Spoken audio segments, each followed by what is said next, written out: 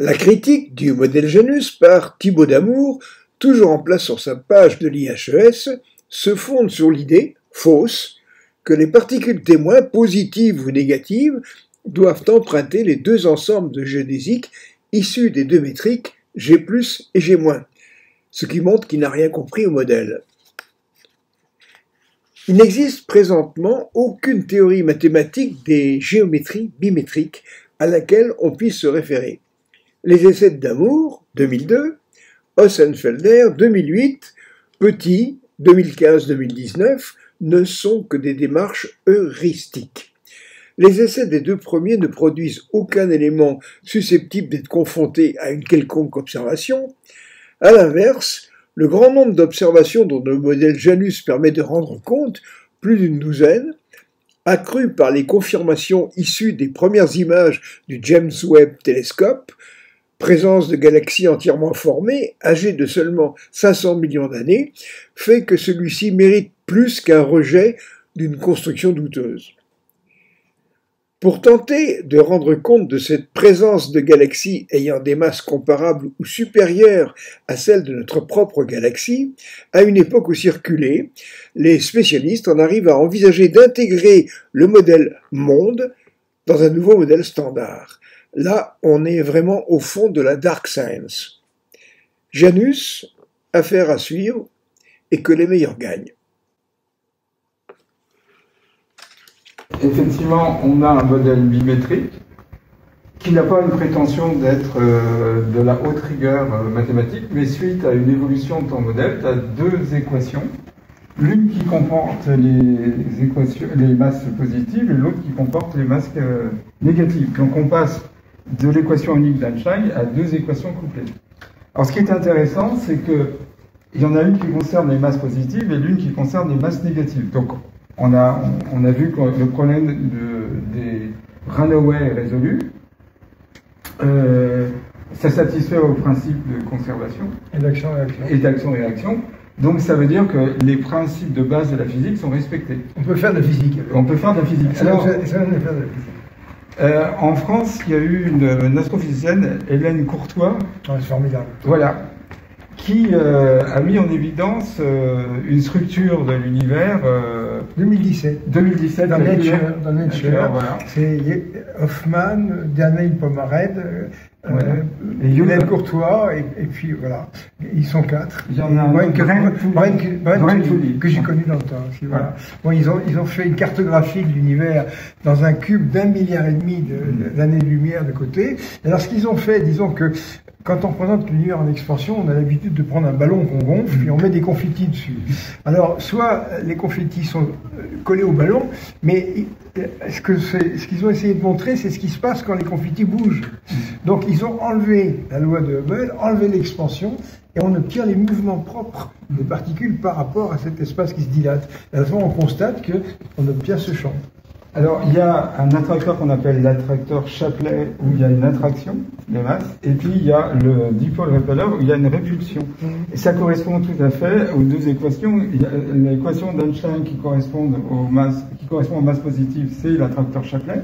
Et puis, le dipole repeller serait représenté par l'équation correspondant aux masses négatives, alors, disons qu'à partir de là, on va reconstituer le sens des forces. Hein. Alors, effectivement, ici, on va mettre euh, deux masses positives, comme ceci. Voilà. Et puis ici, on va mettre, j'espère que c'est ça, oui, deux masses négatives, comme ceci. Voilà, deux masses négatives. Et puis ici, on va mettre une masse positive et une masse négative. Bon. Et à partir de là, on va déterminer les forces. Alors, premier cas, je considère une partie de l'univers où il n'y a que des masses positives. Alors, à ce moment, dans cette équation, ce terme est absent. Il reste juste euh, quitté. Et ça, qu'est-ce que c'est? C'est l'équation d'Einstein. Autrement dit, l'équation d'Einstein, c'est une des deux équations quand il n'y a que de la masse positive. Exact. Bon. Alors après, on pourrait dire, mais qu'est-ce qui se passe quand j'ai que de la masse négative? Bien, Quand j'ai que de la masse négative, je me retrouve avec euh, cette expression-là. Alors le tenseur T, il décrit la source du champ, Mhm. il est négatif, puisque c'est de la masse négative. Mais moins par moins, ça fait plus. Mhm. Donc ça redevient une équation du style Einstein, donc les masses négatives, elles s'attirent. Ah. C'est l'équation d'Einstein avec un sigma. avec un sigma. Voilà, et tout ça, ça, ça s'arrange. Alors évidemment, on a là les masses euh, positives qui s'attirent, les masses négatives qui s'attirent. Alors après, ce qui est intéressant, c'est de dire qu'est-ce qui se passe quand on regarde l'interaction? Alors à ce moment-là, ben, on dit, ben, qu'est-ce que je vais avoir ici? Je vais avoir, donc, ça c'est le noir, j'ai ici mon expression comme ceci, et il va me rester le terme en racine de G vert, et ici j'ai une tenseur comme ceci, menu, le chapeau, tac, il reste ça. Donc cette équation-là, elle va me permettre de déterminer comment réagissent les masses positives sous l'effet des masses négatives. Alors regardez, euh, ici il y a un signe moins, donc c'est une répulsion.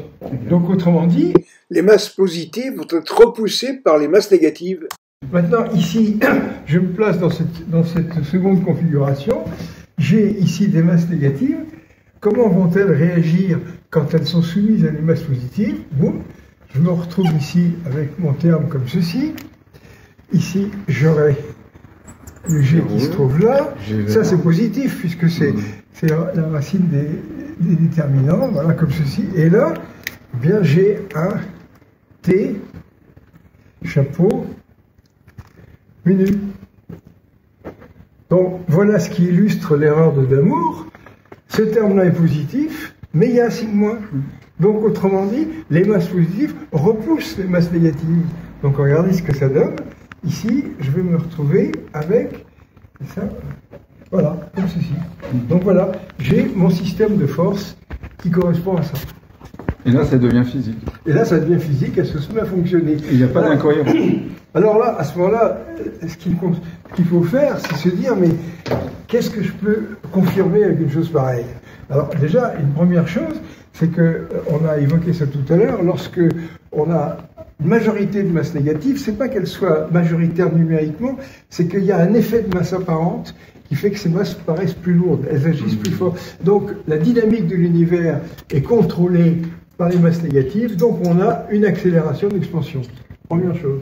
Donc premier point, accélération d'expansion. C'est un peu le, le raisonnement, mais basé sur les masses négatives, de l'énergie, de la matière euh, noire et de l'énergie sombre. Qui est- Alors on peut dire que ça remplace l'énergie Voilà. noire. Oui, mais avec quelque chose de plus phy- enfin, physique. Ah, dire. sait ce que c'est. Alors ensuite, bon, bah, il y a une chose, c'est que euh, on a vu que euh, les masses positives et négatives se repoussent. Donc là où il y a des masses positives, il n'y a pas de masses négatives et vice versa.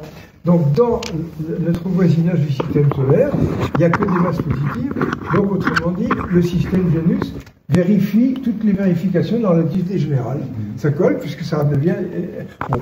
Alors ensuite, ben, on va se dire, euh, lorsqu'on a fait des simulations en, en 92, on retrouve la, la- la structure lacunaire de l'univers en bulle jointive comme ceci. Donc ça fait une troisième vérification, pas de problème. Ensuite, avec ce genre de choses-là, on explique euh, les vitesses excessives dans les amas de galaxies, donc ça fait 4. Bon. Ensuite, les galaxies, ben, les galaxies, elles sont confinées par la masse négative qui est autour. Et ça explique la stabilité des galaxies. En Exactement. Donc à ce moment-là, stabilité les galaxies. Et puis on retrouve également leur courbe de rotation avec son palier. Ça fait 6. Alors après, il y a un truc amusant, c'est que qu'en est-il des effets d'antigravitationnel Alors les effets d'antigravitationnel, ben, on va se dire, voilà, j'ai ici une galaxie, et puis autour, j'ai de la masse négative, comme ceci. Il faut absolument que je change les... Voilà, comme ça je vais bien me repérer. Ça c'est du vert. Donc j'ai la masse négative qui est autour, comme ça.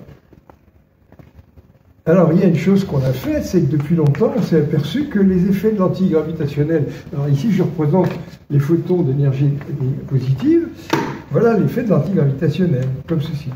Ben, il faut savoir une chose, c'est que si on considère une lacune dans de la masse négative, c'est-à-dire un trou comme ça, eh bien à ce moment-là, l'effet gravitationnel sur les photons, c'est équivalent, c'est-à-dire qu'à une structure comme ça, ça produit un effet convergent. Donc, quatrième, 7, ça explique. Les anomalies de l'antigradationnel local. Alors, ensuite, il y a aussi une chose, c'est que.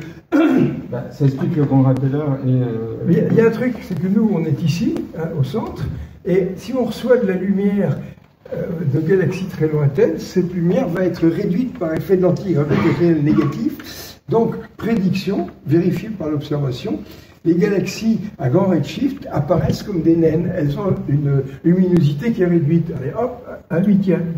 Ensuite, ben, il y a une chose. La, maturation aussi des galaxies, c'est-à-dire que, étant donné que la, la présence de la masse négative, il y a une compression d'une certaine façon qui entraîne une maturation accélérée oui, ça c'est sur, la, c'est sur la, le mode de, formation des galaxies. Mode de formation des galaxies, on en parlait tout à l'heure. Ici, nous avons les conglomérats de masse négative qui se trouvent là, qui se forment et qui compriment la masse négative, la masse positive qui se trouve là. C'est ça. Elle est prise en étau en quelque sorte. Elle est prise en étau, elle est prise en sandwich. Alors à ce moment-là, elle est prise en sandwich et ici, ça a la forme d'une plaque. Donc à ce moment-là, la masse positive, est pris sous forme de plaque et très fortement comprimé, et on a une excursion en température qui peut atteindre un million de degrés. Donc autrement dit, on a une très forte compression, et euh, la plaque est idéale pour évacuer l'énergie de forme radiative. Donc il y a compression, refroidissement radiatif très brutal, et moi, ce que je dis, c'est que les galaxies naissent tous dans les premières centaines, centièmes, centaines de, millions d'années. Mm-hmm. Et euh, c'est confirmé par euh, les premières images du James Webb, et ce le sera de plus en plus. Là, on a vu que euh, ces jours-ci, on avait une galaxie qui était à 11 milliards d'années-lumière et qui avait sa structure spirale qui est tout à fait semblable à la Voie lactée. Alors justement, tout à l'heure j'ai dit que les galaxies lointaines apparaissaient comme des galaxies naines. Alors qu'est-ce qu'en font les, astronomes? Ils se disent, bon, ben, ils se forment d'abord des galaxies naines et après elles s'accrètent pour donner des galaxies importantes. Donc avec le télescope Webb, on s'attendait à trouver plein de petites galaxies naines et surtout en train d'entrer en collision. Et ça, on l'a pas trop vu du tout. Alors c'est ça qui est extraordinaire, c'est que quand il y a des données observationnelles nouvelles, on intitule ça des progrès. Regardez, nous avons énormément progressé. Ben oui, sur le plan observationnel, mais sur le plan théorique, ça casse tout ce qui a été fait. Ça ne fait rien. Ils vont reformuler tout ça, je ne sais pas ce qu'ils vont trouver, mais ils remettront sur le métier. Alors, donc là, on peut dire qu'une autre confirmation, c'est bien le, le fait que ça donne un modèle de formation des galaxies complètement différent. Alors après, ben, on a vu aussi une chose, c'est que par des simulations, on retrouve la structure spirale la structure spirale qui traduit un transfert de la quantité de mouvement détenue par la galaxie au profit de son environnement de masse négative. il y a aussi l'homogénéité du rayonnement fossile de ces Effectivement, l'homogénéité du rayonnement cosmique. Il y a aussi euh, le fait que ça explique l'absence avérée d'antimatière cosmologique. La, répartition inhomogène entre matière et antimatière. Voilà, et puis euh, ça explique la nature des composants invisibles de l'univers. C'est de l'anti-hydrogène. Et de Donc on voit, il y a, plus d'une douzaine de, confirmations. Ça mériterait débat. Hein bah, ça mériterait débat. on arrive à un moment donné où effectivement on s'aperçoit, si on prend une discipline comme la physique quantique, quand euh, euh, Dirac découvre une énergie négative, bah, la communauté scientifique en émoi. Et en fin de compte, euh, Dirac va l'interpréter comme de l'antimatière. Et à ce moment-là, il y a eu un temps de rejet, puis il y a, eu un temps d'acceptation, puisqu'en 1932, Karl Anderson a prouvé que des particules qui, étaient, qui avaient la même masse, mais qui avaient euh, un, signe différent, pouvaient être déviées par des champs magnétiques, et donc ça a été la preuve qu'il existait bien l'antiparticule de l'électron, le positron. Et donc comme les masses sont identiques, ben, l'enroulement en spirale devait être euh, symétrique. Il y en a une qui partait à gauche, l'autre qui partait à droite. Et ça a été la preuve, d'ailleurs ça a valu à Karl Anderson le prix Nobel de physique. Mais, donc, tout ça, ça s'est produit très très vite, il a eu de la chance. Oui, mais on était dans une époque où il y avait moins de, de, de, consensus scientifique, de, de, notions d'hérétique. Voilà. Alors, mais, Dirac était considéré comme un hérétique, puisque je crois que c'était Niels Bohr qui avait fait comme remarque la théorie de Dirac me paraît bonne pour capturer les éléphants.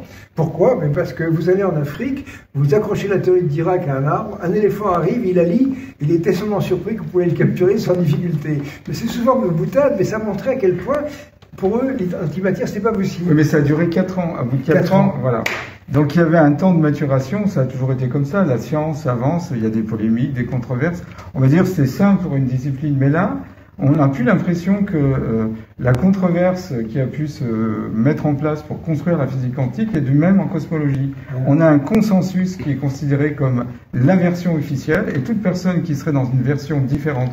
Donc là, tu introduis un concept dérangeant qui est la masse négative, comme Dirac avait introduit la notion d'énergie négative. Et donc là, il y a une espèce de, de, Rejet. de- rejet, voilà. Alors en science, bah, euh, quand on fait un modèle, bah, déjà la physique c'est pas les mathématiques, donc ton modèle il n'a pas la prétention d'avoir une rigueur mathématique, mais celui de Thibault Moulin non plus. Non plus. Surtout qu'il n'ob- il n'obtient rien, il n'y a aucun résultat. Voilà. Et la deuxième chose, c'est qu'on doit se confronter, on, a- on peut avoir une théorie, mais à un moment donné, c'est l'expérience qui tranche. Quand on a euh, 12 preuves expérimentales, euh, ça veut dire que le modèle, il doit être pris en compte. Voilà. S'il n'y avait aucun résultat expérimental, on pourrait dire, bah, c'est fumeux. Mais on ne pourrait presque dire que ça joue en ma défaveur, puisqu'il y a tellement de, de confirmations, c'est pas normal. Il doit y avoir un truc quelque part. C'est- Voilà. C'est fou. hein. Alors, ça nous amène à revenir sur le- la philosophie des sciences. Euh, bah, la science avance par confrontation avec l'expérience. Ensuite, il y a le critère de Karl Popper, la réfutabilité. Ton modèle, on sait là où ça fonctionne, là où ça fonctionne pas. Et puis après, il y a un modèle qui avait été développé par le mathématicien Irmé Lakatos. La science a une heuristique négative. Par exemple, on est accroché à l'idée que seules les masses positives classiques existent, les masses négatives ne peuvent pas exister. Et surtout, il n'y a que l'équation d'Einstein. Il n'y a que l'équation d'Einstein, donc euh, euh, on ne peut pas avoir euh, une autre équation. Donc là, c'est une extension, on pourrait dire, du travail d'Einstein. Ça contredit en rien le travail d'Einstein. Simplement, au lieu d'avoir une équation, on en a deux couplées. Voilà. Et puis ça relance aussi le, euh, le, le travail sur les particules élémentaires aussi. Et oui, il y a une chose en particulier, c'est qu'on échoue à quantifier la gravitation. Or, quand on quantifie, euh, quand, quand on quantifie le, le champ électromagnétique, ça n'est possible que parce qu'il y a des charges électriques positives et des charges négatives. Oui. Moi, je pense que si on introduit les masses négatives, on va quantifier la gravitation. Oui, c'est une piste. Une piste. Alors, euh, voilà, euh, la polémique est au cœur de la science, euh, mais il faut qu'à un moment donné, il y a un arbitre, et l'arbitre, c'est l'expérience. Absolument. Voilà. Nicolas Testa, à un moment donné, euh, s'était rendu compte que l'expérience était mise de côté au profit de la mathématique. Il disait, les scientifiques aujourd'hui ont délaissé la science au profit de la mathématique, ils se promènent d'équation en équation et finissent par définir un, deux, un monde qui n'a plus rien à voir avec la réalité. Et euh, c'est un peu ce qui se passe. On a des concepts euh, euh, qui ne font que renforcer l'obscurité, le, doute, le- l'ambiguïté, énergie sombre, matière noire. euh, il y a une vingtaine de, de prétendants à cette matière noire et c'est, on on n'est plus sur des choses qui sont vérifiables. Donc attention, la cosmologie n'est pas un domaine des mathématiques. Il y a quand même la contrainte, l'obligation. Et ça va s'arranger, comme pour l'équation d'Einstein. euh, par exemple, cette équation, elle est apparue avant qu'on fasse la dérivation lagrangienne. C'est Hilbert qui a fait ça. Ben, il va y avoir un Hilbert qui dira, voilà, c'est comme ça qu'il faut faire. Et c'est ce que disait René Thom. Il disait qu'à un moment donné, quand une discipline a atteint sa maturité, il y a toujours euh, euh, des mathématiciens qui la rendent plus rigoureuse. Exactement. Voilà. Donc on attend le mathématicien ou les mathématiciens qui rendront euh, ce travail plus rigoureux. Et peut-être, tu as raison, que ces équations ne seront que des brouillons, Des brouillons. pour aller vers d'autres choses. Absolument. Et en fin de compte, c'est euh, Alain Cole lui-même qui le disait. Euh, le, le but d'un modèle mathématique, c'est pas forcément d'être juste, c'est d'ouvrir la voie pour que Ouais. voilà d'autres euh, scientifiques puissent euh, améliorer et, finalement il y a des nouvelles idées et des fois de, de choses qui peuvent paraître des échecs, bah, ça- on débouche sur des choses innovantes. Mais ce qu'il faut comprendre, c'est que le modèle Janus, c'est une révolution scientifique. C'est révolutionnaire. Et le problème, c'est quand il y a une révolution, il y a une Bastille à prendre. Et là, malheureusement, en France, la Bastille, c'est l'Académie des sciences. Voilà. Bon, bah merci de l'éclairage. Voilà.